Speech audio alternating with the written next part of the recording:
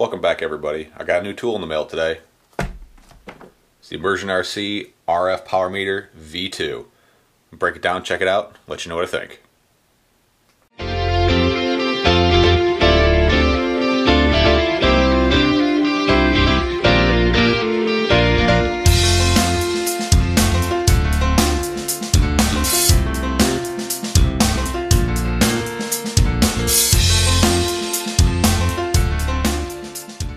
Okay, we have the Immersion RC RF Power Meter V2. Comes in at about $80 from the usual places. Uh, there was a a V1 prior to this. It was very large, very expensive, and uh, I, I, believe it's no longer available. Everywhere I'm looking says it's discontinued.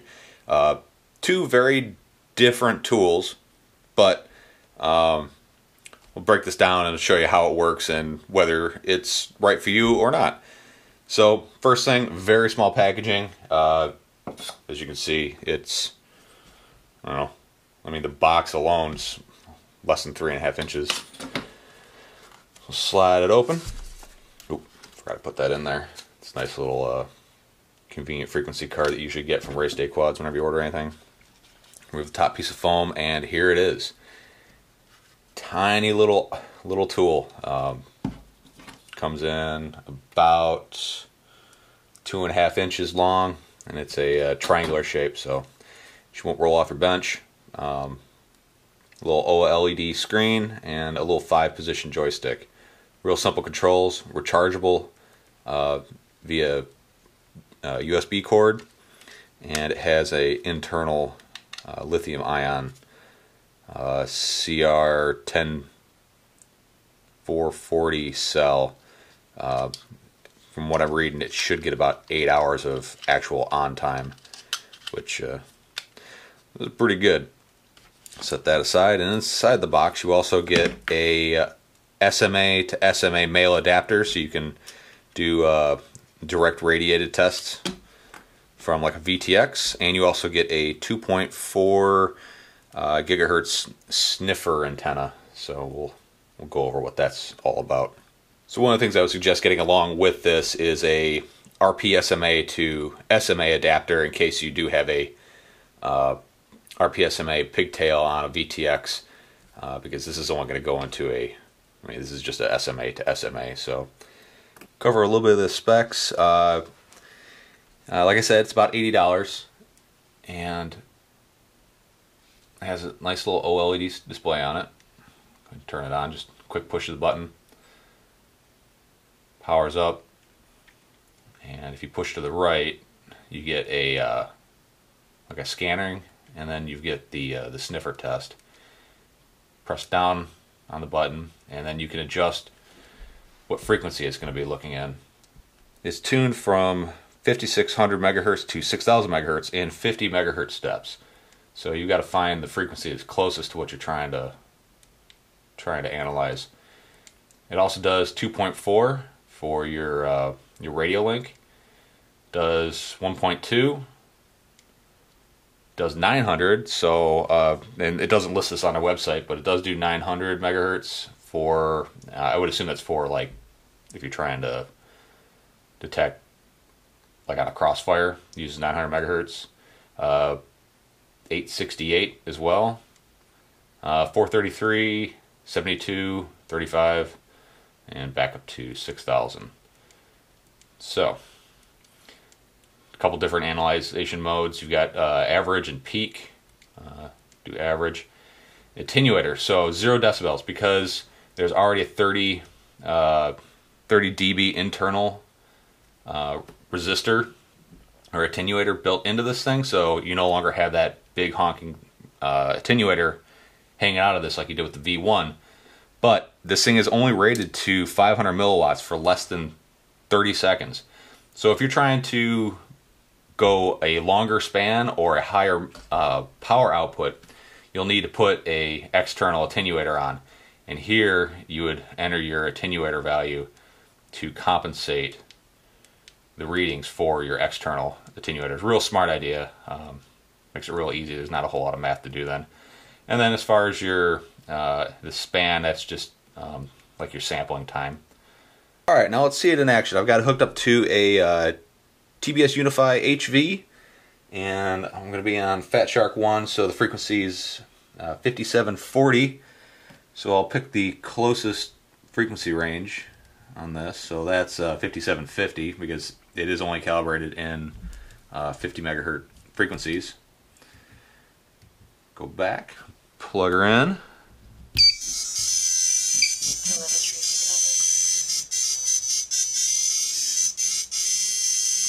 Currently my currently my power output uh, for the VTX is set at 200 milliwatts. So as you can see, this is uh, it, it's outputting 131 milliwatts, but it's putting out 21 uh, dB. So when you're using something like this, you want to start thinking outside of the box of milliwatts. Start thinking about dB. Um, there's a in, in, the manual. There's a good explanation of how dB works and how you how you calculate it. So 14 decibels is basically 25 watts, and to get double the output, it's six decibels more. So twice the output is 20 decibels instead of 14 and not 100 milliwatts or uh, sorry, not 50 milliwatts. So let's go ahead and change this down to 25 milliwatts.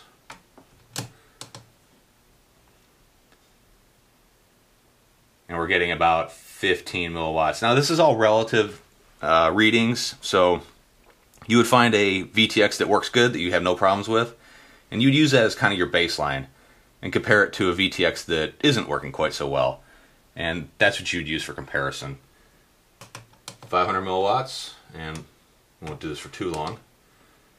So there's 500, so that's 23 dB.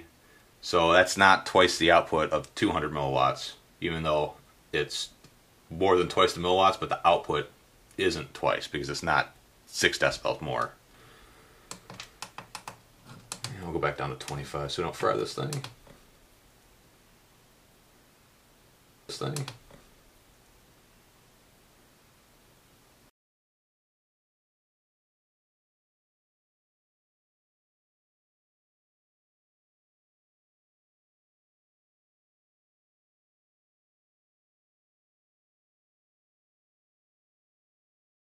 Okay, now let's talk about the sniffer mode with the 2.4 gigahertz uh, antenna on it.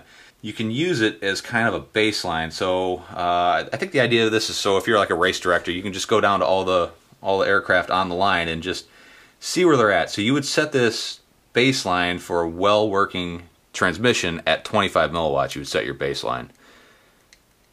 And then you would just go along and just see where everybody's at. So that little crosshair in the center We'll set our zero for this particular rig. And you would just quickly go by, tap everybody, and if somebody's way low, then they may have a problem, or if they're way high, they may not. 25 milliwatts. So this is a good, real quick check to see where you're at. So if I had four quads in my fleet, set them all at 25 milliwatts, just go through. This one works really well, use this as my baseline, and just see where everybody's at compared to my baseline well-working quad and VTX. So final thoughts on the Immersion RC RF Power Meter V2. Is it worth it or not? I think once you get into the game and you're really trying to go farther and better and, and your your video link is one of the most important things uh, that you could make sure is working properly on any of your quads. Uh, for $80, I think that this is probably a really nice tool to have in your back pocket or in your toolbox uh, to help you diagnose those quads that just don't get the right amount of range. Is it a poor quality VTX? It poor quality antenna? Maybe your uh, maybe your pigtail's bad. There's really no way to know without actually just completely swapping out VTXs. And uh, you know VTXs they're not all built the same, even though they all say they go up to 200 milliwatts and down to 25 milliwatts. They're not all the same. And this is a good way to verify what they're actually doing, whether they're doing what they're supposed to or not, or if they're damaged. So for for the the price of eighty dollars, I think this is it's more of a luxury tool. I wouldn't expect a beginner or somebody who's just getting getting their feet wet in the hobby to have one. But if you're a race director, yeah, you definitely want one of these. If you're really into the hobby and you want to maximize your potential and you're your 5.8 gigahertz video link, yeah, you definitely should have one of these. Uh, let me know what you think. Drop a comment down below. Uh, I'll put a link to this product in the description. If you like what I'm doing, give me a thumbs up, like, please subscribe, and I'll catch you on the next one.